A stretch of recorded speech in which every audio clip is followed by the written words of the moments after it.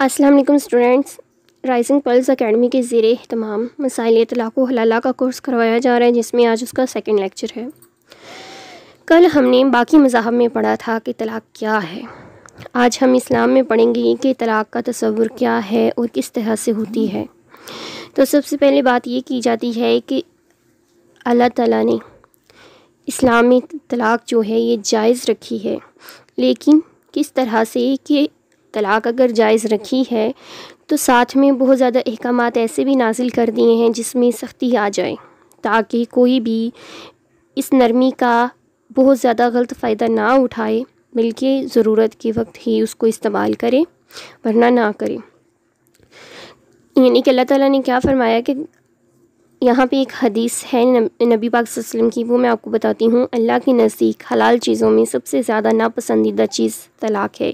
यानी कि तलाक़ हलाल तो है, लेकिन अल्लाह ताला तलाक़ को सख्त नापसंद करते हैं। लेकिन फिर भी तलाक़ का हक़ दिया गया है, क्योंकि अगर मियाँ बीवी की जो शादी के बाद खुशगवारी आती है, उनके बच्चे, बच्चों में एक पुरसकून सा माहौल होता है। अगर वो माहौल कायम ना रह सके तो मियाँ बीवी एक दूसरे से अलग हो सकते हैं और तलाक़ लेकर जो निकाह का माहिदा था उसको ख़त्म कर सकते हैं। उसके बाद क्या है कि तलाक़ का हक़ तो दे दिया, लेकिन फिर उसके मसाइल और कुछ अहकाम नाजिल कर दिए, वो क्या हैं? सबसे पहले तो ये है कि शोहर और बीवी एक दूसरे के साथ हुसन सलूक करें ताकि तलाक़ ना हो।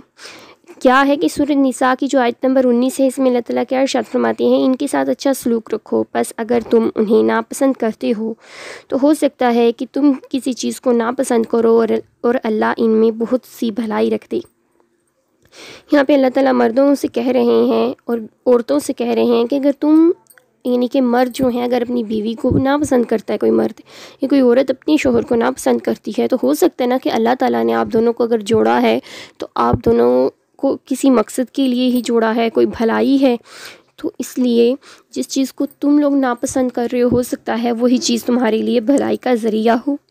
हदीस नबवी में क्या आता है? जो शख्स अपनी बीवी की सख्त कलामी पर सब्र करे, उसे हज़रत अयूब अलैहिस्सलाम जैसा अजर मिलेगा।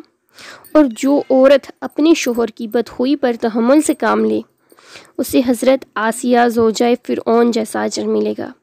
ये जो हवाला है या ये आपको अहयाए किताब है, उसमें से मिल जाएगा। उसके बाद क्या है? जो मर्द या औरत नत नए निकाह की हवस में मुबतला हों, अल्लाह ताला उनसे सख्त नाराज़ होते हैं। जैसे कि कोई औरत अगर चाहे कि मैं अपने शोहर से तलाक़ लेकर किसी और से शादी कर लूँ और कोई तलाक़ लेने की वजह नहीं हो, बस कि मैं किसी और से शादी कर लूँ। या फिर जो शोहर होते हैं, वो चाहते हैं कि भाई हम एक बीवी से उनकी सारी ज़रूरियात पूरी हो रही हैं, लेकिन फिर भी वो चार चार बीवियाँ रखना चाहते हैं या फिर अपनी पहली बीवी को तलाक देकर नई शादी करना चाहते हैं। तो ऐसे जो मर्द हैं, ऐसे जो औरत हैं, इनको अल्लाह ताला बहुत ज़्यादा नापसंद करता है। उसके बाद क्या आता है? औरतों को तहमत के अलावा तलाक ना दी जाए बिलाशुबा। अल्लाह ताला घाट घाट का मज़ा चखने वाले मर्दों और औरतों को पसंद नहीं करता। यानी कि ऐसे मर्द जो अपनी बीवियों को बिला वजह तलाक दे देते हैं, गुस्से में आके तलाक दे दी या फिर किसी ने भी बोला कि ये तलाक दे दो तो तलाक दे दी, ठीक है? तो ऐसी सूरत में तलाक नहीं दी जा सकती, सवाए तहमत के। यानी कि अगर आप अपनी बीवी में कोई बुराई अपनी आँखों से देख लेते हैं तो फिर जाके आप तलाक दे सकते हैं और वो बुराई भी ये हो कि आपकी बीवी आपके अलावा किसी और के साथ हो, तब वरना तलाक नहीं दे सकते मर्द भी। ये वो अहकाम हैं जो अल्लाह ताला ने एक मर्द या औरत के दरमियान हाइल किए हैं ताकि वो तलाक ना दे सकें, उनके लिए रुकावटें पैदा की हैं। और फिर क्या है कि अगर शोहर और बीवी दोनों के दरमियान जो है खुशगवारी और न खुशगवारी कायम नहीं रहती और लड़ाई झगड़े बढ़ जाती हैं तो फिर क्या है कि मियाँ और बीवी दोनों की रिश्तेदार में से कुछ लोग इकट्ठे होंगे और उनकी सुलह करवाने की कोशिश करेंगे। कुरान करीम इसके बारे में क्या कहता है? सूरत निसा की जो आयत नंबर पैंतीस इसमें अल्लाह के अरशद फरमाती हैं, अगर तुम्हें इन दोनों, यानी मियाँ, बीवी के दरमियान दुश्मनी का डर हो तो एक फ़ैसला करने वाला मर्द के लोगों में से और एक फ़ैसला करने वाला औरत के लोगों में से मुकर कर लो। अगर दोनों में असलाह हो, इस, अगर दोनों असलाह चाहते हों तो अल्लाह इनके दरमियान मुवाफ़त करा देगा। बिलाशुबा अल्लाह ताला जानने वाला ख़बरदार है, यानी ये कि मियाँ और बीवी के घर वालों में से एक एक जो फ़ैसला करने वाला है, सरपरस्त है, वो आगे आके उस मर्द और औरत की सुलह करवाएगा। अगर वो सुलह चाहती हैं तो उनकी सुलह करवा दी जाए। अगर नहीं वो चाहते तो अल्लाह अल्लाह ताला जो हैं, वो जानने वाले हैं, ख़बरदार हैं। यानी कि अल्लाह ताला फिर उनके लिए बेहतर फ़ैसला करेंगे कि उन्हें आया साथ ऐसे ही रहने दिया जाए या फिर उनकी तलाक करवा दी जाए। ठीक है? उसके बाद क्या है कि अगर कोई मर्द अपनी बीवी को तीन तलाक़ें एक साथ दे देता है तो वो एक ही तलाक वाक़ होती है और इस, यानी कि तीन जो तलाक़ें हैं, ये एक साथ देने से मना फरमाया गया है। यानी कि कोई भी मर्द जो है अपनी बीवी को तीन तलाक़ें एक ही वक्त में नहीं दे सकता, बल्कि एक एक वक्फ़े के, एक माह के वक्फ़े से जो है वो एक तलाक़ देनी है। यानी कि फिर तीन माह में तीन तलाक़ें मुकम्मल होती हैं। एक साथ तीन तलाक़ें नहीं होती अगर कोई मर्द एक साथ अपनी बीवी को तीन तलाक़ें दे देता है तो वो जो मर्द है, वो अपनी बीवी को चाहे कि उसने एक साथ तीन तलाक़ें दी हैं, वो शुमार एक तलाक ही होगी। आगे जाके जब मैं आपको हलाले के बारे में बताऊँगी, तब इसकी तफसील आपको बता दूँगी। उसके बाद है कि हालत तोहर में तलाक दी जाए कि हालत तोहर में तलाक दी जाए, उस हालत में तलाक ना दी जाए जब उस मर्द की बीवी जो है वो नापाक हो, यानी कि पाकी के दिनों में तलाक दी जाए।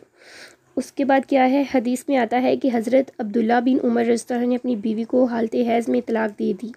हजूर वसल्लम को पता चला तो सख्त नाराज़ हुए और इबन उमर को रजू करने का हुक्म दिया।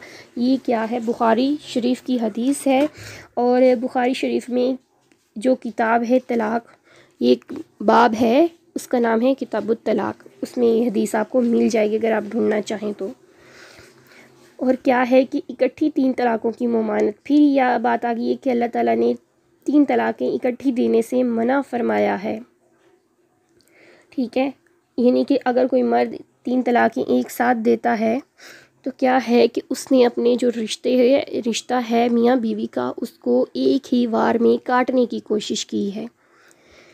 तो अल्लाह ताला ने इसकी सख्त जो है, उसको नापसंद किया है। यहाँ पे क्या है कि हज़रत उमर रस्तान के सामने जब एक ही मरतबा, तीन तलाक़ें देने वाले किसी भी शख्स को पेश किया जाता था तो वो क्या करे, करते थे, उसको दुरे लगवाते थे और फिर मियाँ बीवी में जुदाई का हुक्म दे देते थे।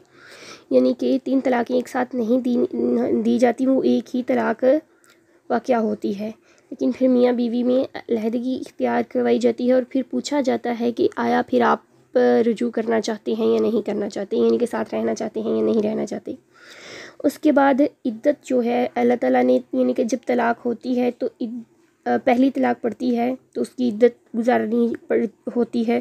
फिर जब दूसरी होती है तो दूसरी तलाक़ की इद्दत, फिर तीसरी होती है तो फिर तीसरी तलाक़ की इद्दत गुजारी जाती है। तो इद्दत का जो ज़माना है, इसको ज़माना इंतज़ार शुमार किया जाता है। इसको क्यों ज़माना इंतज़ार शुमार किया जाता है और इस गुजारने की मसलहत क्या है? यानी कि अगर कोई एक मर्द है, उसने अपनी बीवी को एक तलाक दे दी है तो जब बीवी इद्दत में होगी तो बीवी अपने शोहर के साथ, अपने बिगड़े हुए जो तल्लुकात हैं, उसको फिर से इस्तवार करने की कोशिश करेगी। और जब शोहर ने, बीवी को अगर एक तलाक दी है तो बीवी शोहर के घर में ही रहेगी। दूसरी तलाक पर भी बीवी शोहर के घर में ही रहेगी। जब तीसरी तलाक होगी, उसके बाद बीवी अपने घर जाएगी, तब तक नहीं जाएगी। और पहली और दूसरी तलाक में बीवी और शोहर एक दूसरे के साथ रजू कर सकते हैं। सूरत तलाक की जो आयत नंबर एक है, इसमें अल्लाह ताला क्या शायद फरमाती हैं ए नबी, जब तुम औरतों को तलाक देना चाहो तो उन्हें इद्दत की शुमार में तलाक दो। ठीक है? यानी कि जब कोई मर्द जो है, वो अपनी बीवी को तलाक देना चाहता है तो उसको चाहिए कि वो इद्दत की शुमार में तलाक दे, यानी कि एक एक माह के वक्फ़े से तलाक दे। और इन कल हम आगे बढ़ेंगे और कल के लेक्चर में हम हलाले के बारे में बढ़ेंगे। और, इस्लाम में क्या है? और कराम ने हलाले को किस तरह से मोड़ दिया है? वो सारी चीज़ें हम पढ़ेंगे और उसके बारे में क्या क्या अहकाम हैं वो पढ़ेंगे। अल्लाह आप सभी का हामी नासिर हो।